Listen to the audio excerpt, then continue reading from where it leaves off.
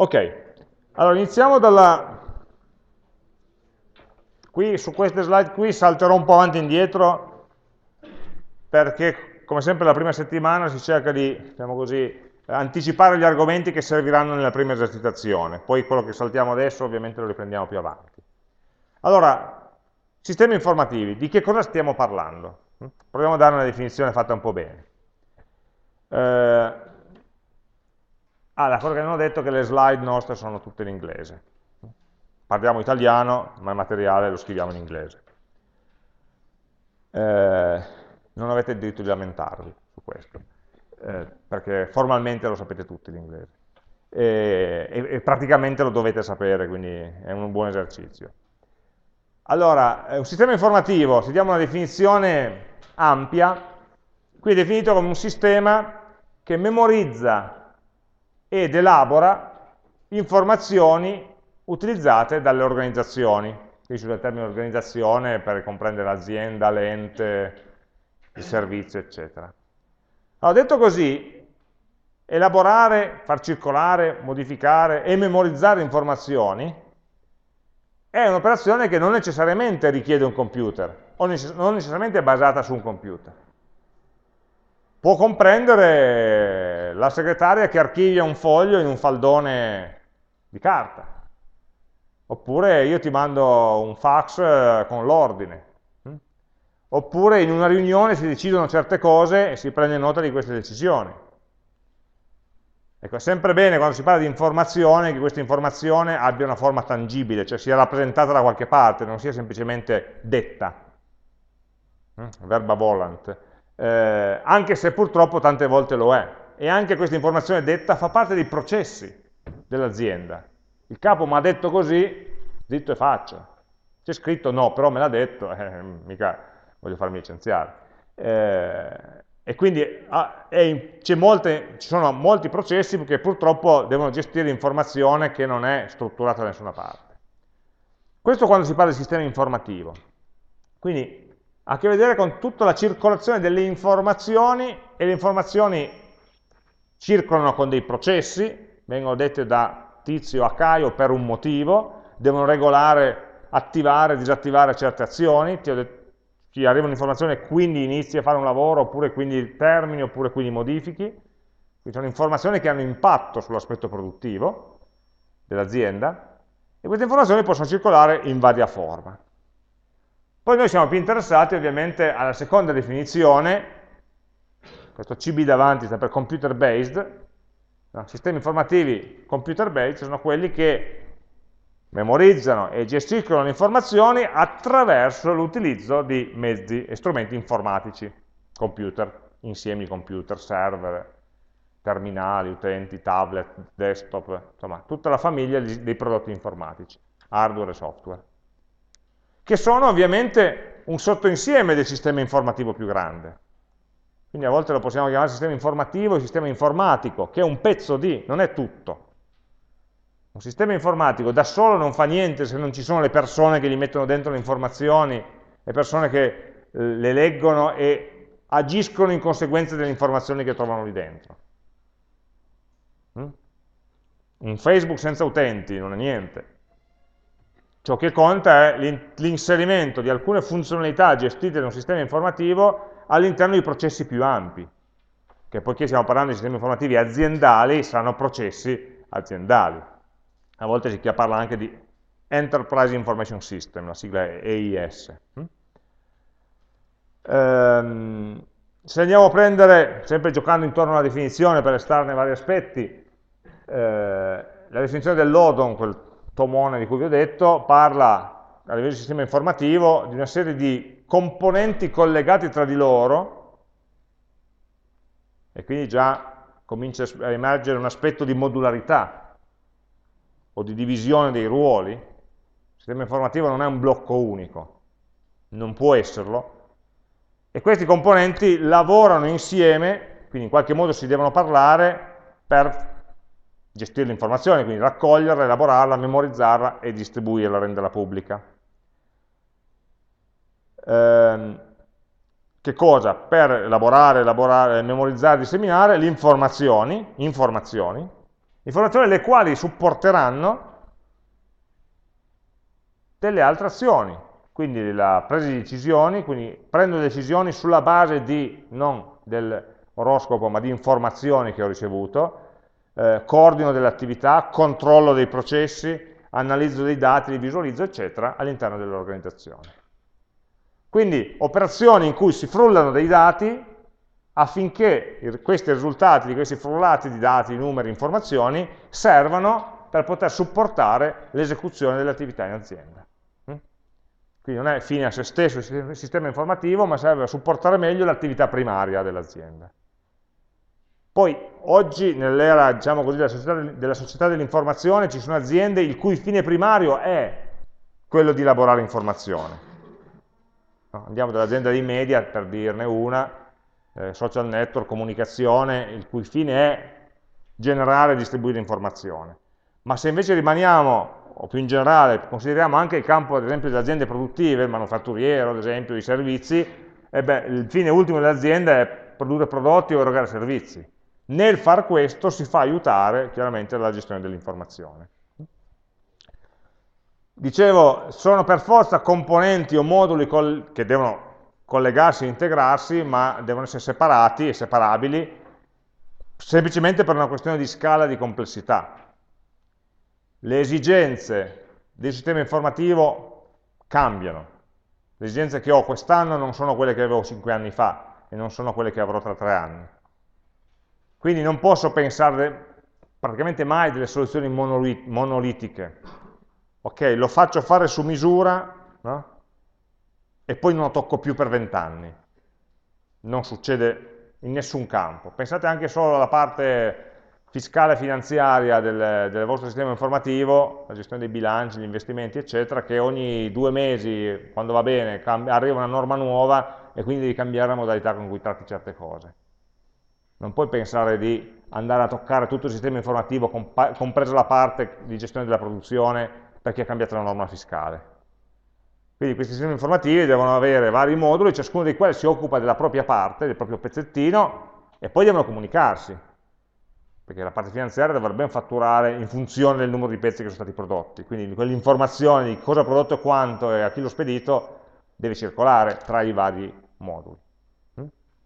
Può circolare dentro il sistema informativo, se il sistema informativo è ben integrato, può circolare al di fuori del sistema informativo, cioè nella produzione mi fanno una stampata che porto a manina o in bicicletta in amministrazione e da lì fanno le fatture.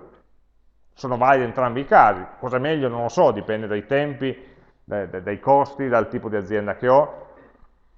Eh, eh però l'importante è che questa informazione, esistono moduli o componenti specializzate per le varie funzioni e tra di loro, cioè quindi ciascuno si è specializzato, possa evolvere in funzione delle esigenze specifiche di quella funzione, che poi sono legate alle funzioni aziendali, molto spesso, e poi l'informazione possa circolare tra una e l'altra. Okay?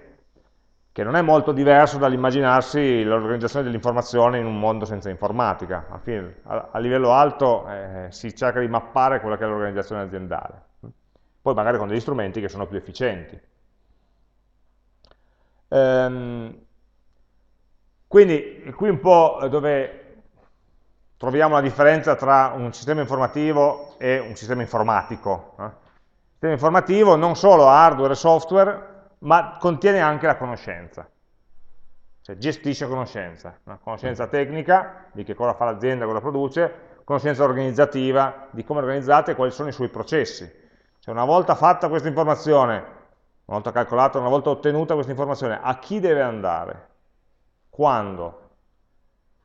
Questo processo quando può partire? Queste sono tutte conoscenze organizzative che il sistema informativo deve conoscere. Mentre invece il sistema informatico esegue semplicemente dei programmi senza capire perché. Noi il sistema informativo vorremmo riuscire a dare, per il fatto che il sistema informativo comprende anche le persone che ci lavorano, avrà la conoscenza del perché succedono le cose e quindi la, vista, la visione è un pochino più, più ampia. Noi quindi ci, ovviamente non puoi subappaltare le persone, subappalti la realizzazione del sistema informatico, nella nostra idea di fare un contratto per far realizzare un sistema. Però, quindi l'oggetto del subappalto sarà il sistema informatico, ma nella sua progettazione deve tener conto necessariamente delle persone. Quindi vedrete che noi lavoreremo spesso all'interfaccia tra persona e macchina, non intesa solo come interfaccia utente, anche un pochino, ma sul fatto, sul, ci chiederemo tante volte, ma gli utenti cosa vedono, cosa fanno, cosa percepiscono, chi fa cosa nei confronti della macchina. Poi, per fortuna, non ci interessa tanto come la macchina fa a eseguire i comandi, ma il fatto chi gliel'ha chiesto sì, e a chi arrivano i risultati anche. Quindi dovremo modellare anche un pochino di ciò che fanno le persone, che saranno informazioni per noi di contesto, descrittive, non prescrittive, perché non è che posso scrivere al mio eh, che so, consulente che voglio una persona che faccia questo. Queste, queste sono le mie persone che faranno ciò che sperabilmente devono, ma devono sapere quali sono le azioni delle persone per poter costruire il sistema. Quindi questa è la, se vogliamo, la, la sfida in più, no? per quale è necessario avere la conoscenza organizzativa, che è quella che dovreste avere voi in un'azienda, e non solamente la conoscenza tecnica. Potete avere il tecnico migliore di questo mondo, ma se non sa come funziona l'azienda vi farà sempre un, so un software che fa schifo, un software che si farà, un sistema informativo che si farà odiare dai propri utenti, perché funziona in modo diverso da come funziona l'azienda. Mm? E gli esempi di questo genere ce ne sono tanti. Ehm, ecco, qui noi usiamo, cerchiamo di usarlo coerentemente in tutto il corso, quasi sempre il termine organizzazione e non azienda o enterprise, perché il termine azienda di solito è associato a, al profitto essenzialmente, cioè a svolgere certe attività per un profitto di mercato, che non c'è nulla di male, ma i ragionamenti che facciamo noi sono più ampi. Si applica non solamente alle aziende, ma anche agli enti pubblici, eh, il governo, enti no profit, eccetera. Per cui usiamo il termine organizzazione che cerchiamo di definirlo come molto ampio, cioè qualunque entità che svolga delle attività abbia uno scopo, eh, che questo scopo abbia degli obiettivi, che siano o non siano eh, diciamo così, economici, poco ci importa, alla fine quando il sistema operativo gestisce un numero, che quel numero siano euro, siano pezzi o se siano persone, eh, a lui non interessa. Quindi i ragionamenti che facciamo di tipo progettuale valgono in senso ampio. Eh, questo disegno probabilmente l'avete visto il primo anno di Politecnico, no? quando avete fatto il corso di informatica dicendo, ah, la parte informatica che cos'è? È una cosa che si beve degli input e sputa fuori degli output. No? Solo che lì il focus ovviamente era quello di realizzare il programmino in C che stampasse l'elenco di 12 numeri dispari o quello che era. No? Ecco, adesso il nostro focus è all'esterno, cosa ci sta intorno a questo? E da dove arrivano gli input? Chi li fornisce? Dove vanno gli output? Chi li vede? E il fatto che il sistema informativo generi certi output, che effetto ha sull'organizzazione e quindi di fatto quali nuovi input genera per il sistema. Questo è ciò su cui stiamo ragionando, non come fare il programmino che, o il programmone che, faccia una certa cosa, ma qual è l'ambiente in cui vive questo sistema informativo, quali sono le interazioni che quel pezzo di tecnologia ha con ciò che eh, sta intorno. Quindi noi vediamo tre livelli inscatolati, uno è quello più basso, quello del sistema informativo propriamente detto, poi che vive dentro il contesto organizzazione, che ha le sue logiche, le sue funzioni, le sue persone, la quale vive all'interno di un ambiente più ampio, che è l'ambiente della società, fatto di fornitori, fatto di clienti, fatto di concorrenti, fatto di normative, fatto di azionisti, che non questi signori all'esterno non vedono, non usano direttamente il nostro sistema informativo, ma vedono come input e come output l'attività dell'azienda, della nostra organizzazione. E quindi indirettamente però in qualche modo la loro presenza e le loro azioni intervengono. Quindi questo è il contesto generale in cui immaginiamo il ruolo svolto da questo oggetto, questo blocco di tecnologia, questo insieme di hardware e software però visto nel, nel contesto più ampio. Ehm, ecco, in questo, sempre la lettura più ampia, conviene fare da subito una distinzione tra quelli che sono i dati e le informazioni. Poi ci sarebbe un livello più alto che quello della conoscenza, che però non tocchiamo oggi. I sistemi eh, informatici, quindi computer, manipolano dati, cioè numeri, fatti. Eh? Oggi è mercoledì, questo è un dato. Oggi c'è lezione è un'informazione che io posso estrapolare dal dato conoscendone il contesto.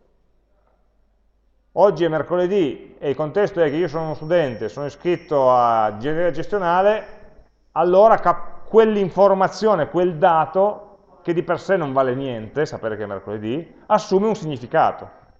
L'ho interpretato nel contesto. Quindi l'informazione è un dato letto in modo che abbia un significato per gli umani, per gli utenti del sistema, e sappiano che cosa devono farci. Tu arrivi al sistema e ti dice oggi è mercoledì, e dici, beh, ieri era martedì, bravo, no? Eh, però è, è un dato inutile. Un dato inutile fin tanto che non dà all'utente del sistema, all'umano, al destinatario, informazioni su ciò che deve fare, su ciò che ha fatto, eccetera. Eh, quindi ovviamente i sistemi sono macchine, lavorano con dei numeri, dei dati, dei tipi di dati, delle stringhe, delle date, degli, del, degli orari, delle quantità, dei, delle unità di misura, Num sempre numeri sono. Sono grosse macchine per macinare dati. Lo sforzo nostro sarà quello, da progettisti, di fare in modo che questi dati assumano la valenza di informazioni, quindi abbiano un significato utile a chi li deve utilizzare. Quindi anche lì sempre nel progettare l'interazione tra l'utente e il sistema ci chiediamo che informazioni deve dare la persona? Che informazioni? La propria identità. Quali sono i dati che descrivono queste informazioni? Ah beh, il nome, il cognome, il codice fiscale, eccetera, eccetera. E, se, e lavoriamo sempre a questi due livelli, il significato delle cose e poi la struttura, la sua rappresentazione concreta, i dati di cui è composta. Quindi già cominceremo subito, eh, appunto da, da, da, domani, a ragionare sul livello dell'informazione, quindi riuscire a estrarre e astrarre da una situazione quelle che sono le informazioni principali, i concetti principali, senza perdersi nei dettagli di tutti i dati, di tutti i numerini che ti servono, che chiaramente servono anche quelli, è necessario specificare anche quelli, ma sono su un livello diverso. Il conto è l'informazione percepita dall'utente, il valore di questa informazione percepita dagli utenti del sistema, e un conto appunto sono i numerini con cui questi sono rappresentati. Ehm, ecco, io fatemi fare un salto avanti, poi riprendiamo questo discorso la settimana prossima.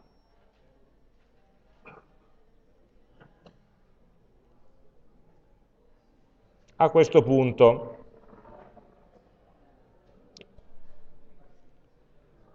quindi per chi avesse, siamo dalle parti della slide 84.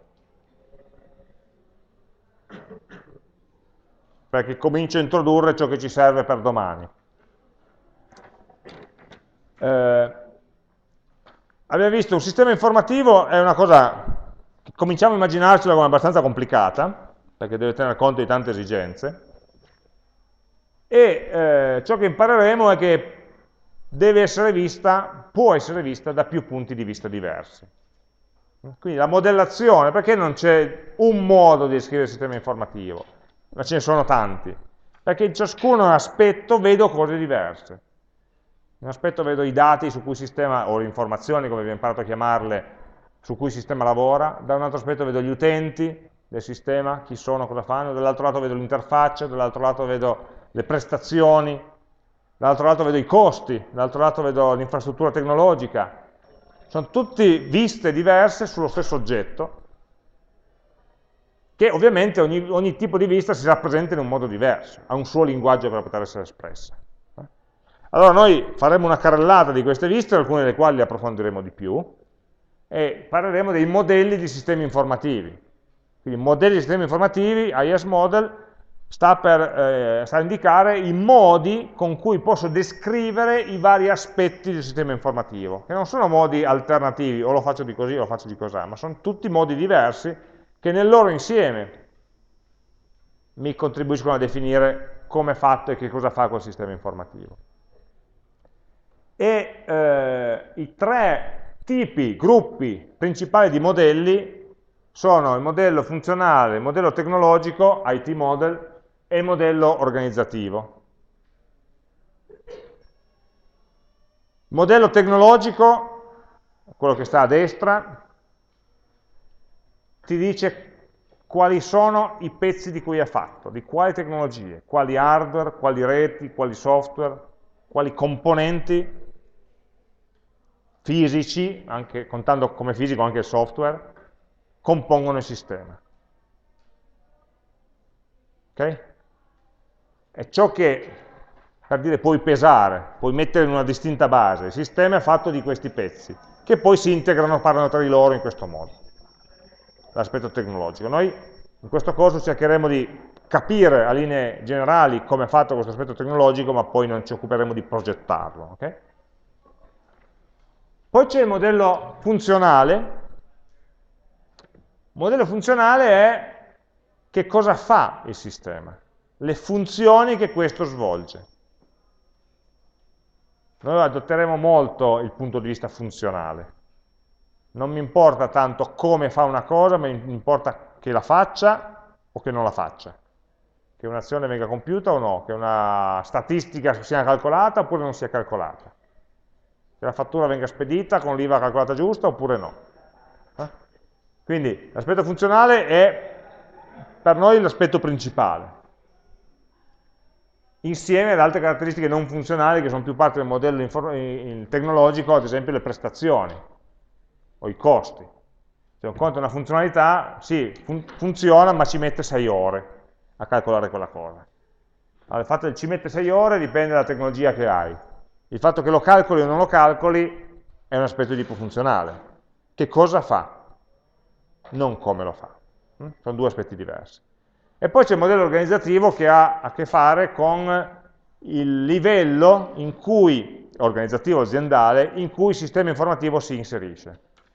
Noi parleremo di sistemi informativi manageriali o decisionali rispetto ai sistemi informativi operativi, che sono quelli che invece gestiscono gli aspetti più legati alla produzione, al day to day, eccetera. Quindi questa è una, se vogliamo, questo ragnetto qua è l'inizio di una tassonomia in cui andremo poi a analizzare nei vari rami che cosa c'è che tipo di descrizioni ci sono. Ecco, il primo approccio che voglio darvi, che è un po' diverso dall'ordine delle slide, per questo ho saltato, è il, per primo l'approccio funzionale. Cioè cosa vuol dire descrivere ad alto livello i macro, le macro descrizioni principali, l'aspetto funzionale di un sistema informativo, e qui l'abbiamo diviso in tre sotto tipi di modelli. I modelli di processo, i modelli dei dati e i modelli di funzionamento che abbiamo chiamato qua casi d'uso. Questi sono tre, diciamo, dei grossi capitoli del corso e tre tipologie di, di, di, dei diagrammi, no? dei modelli che impareremo a costruire. Modello funzionale innanzitutto si chiede quali sono le informazioni che il sistema gestisce. Dalla fase precedente cancellate innanzitutto, per favore da quella che ho appena detto. Eh, perché non esiste in realtà uno che viene prima degli altri, no? si, si, rincorrono la coda, i vari modelli tra di loro devono essere coerenti, non è che posso fare prima uno e poi quello è chiuso e faccio il... Volevo dire forse no, il, il pilastro su cui re, si reggono gli altri tipi di modelli è quello informativo, quello dei dati, dei concetti, delle informazioni alla fine il sistema informativo deve elaborare informazioni come prima cosa, scusate mi sono scappato il prima, ma prima nel senso più importante, devo capire quali sono queste informazioni. Su queste informazioni devo definire dei processi. Avere le informazioni lì ferme sul tavolo non mi serve a niente. Io ho queste informazioni sul fatto che mi è arrivato un ordine, benissimo, il sistema informativo lo sa, l'ha messa qui questa informazione. Ma se questa informazione sta lì, non serve a niente a livello aziendale. L'importante è che questa informazione che è arrivato un nuovo ordine sblocchi un processo per cui qualcuno quell'ordine lo prende, vede se materie, le materie prime, se no fa a sua volta eh, gli ordini, vede eh, com'è la mia scaletta di produzione, quindi con lo scheduling eh, trova qual è il, mo momento migliore, eh, il luogo migliore in cui realizzarlo, si fa una stima della data di consegna, una stima dei costi, eccetera, eccetera. Cioè, il fatto che ci sia un'informazione nel sistema informativo deve scatenare una serie di azioni, in un certo ordine, non a casaccio. Questi sono i processi. Quindi impareremo, un pochino l'avete fatto dal punto di vista dei processi aziendali, noi lo faremo dal punto di vista dei processi informatici che, stanno, che si intersecano con questi processi aziendali, descrivere come sono organizzati questi processi, cosa hanno fatto prima, cosa hanno fatto dopo, quali sono gli input che arrivano a un certo punto, quali sono gli output che vengono girati in un altro momento, e quindi quali sono quelle che prima dicevamo, gli scambi di informazione tra questi moduli, tra i moduli del sistema informativo. Questi processi poi vengono concretizzati, cioè non è che io ho detto prendo i dati, che erano per me le informazioni sull'ordine, che erano questa bellissima spugna, lo guardo e poi decido. Allora l'informazione è eh, l'ordine. Sapere che a ricevere un ordine scatena una certa serie di attività è il processo, ma poi materialmente io non è che posso guardare dentro il computer per sapere se c'è un ordine ho bisogno di, banalizzo, videate, schermate, di interfacce su cui vederle queste informazioni. Interfacce che siano pensate in funzione delle informazioni che mi servono, in funzione del processo con il quale devo gestirle. E quindi un sistema informativo permette agli utenti del sistema informativo stesso di fare tante cose noi descriveremo le cose che il sistema informativo, lasciatemi usare questo termine cose non molto preciso perché poi eh, avremo tempo di, di, di, definirlo meglio, le cose che il sistema informativo può fare le descriveremo come tipi diversi di interazioni, di casi d'uso diversi, cominciamo a usare questo termine, che gli utenti del sistema possono fare nei confronti del sistema stesso.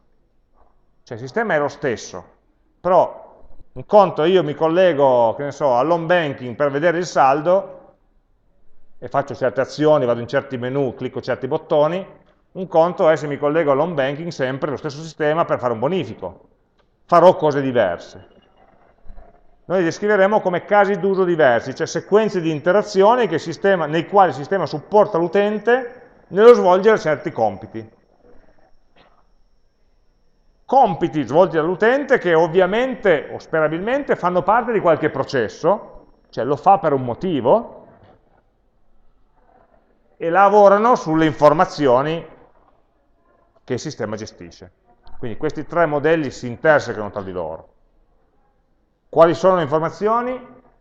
Quali sono le sequenze di azioni con cui queste informazioni evolvono e quali sono le azioni che il sistema informativo offre all'utente affinché l'utente possa eseguire i vari passi di questo processo. Mm? Questo in estrema sintesi. Allora noi quello che cominceremo a fare da domani, perché oggi il tempo ci è quasi scaduto, sarà di iniziare ad affrontare innanzitutto una visione molto generale dei, delle rappresentazioni grafiche che si usano in questi casi, ma poi soprattutto entrare nel campo della modellazione delle informazioni, che è quello che chiameremo modellazione concettuale su cui avremo l'esercitazione in laboratorio la settimana prossima. Per ora grazie.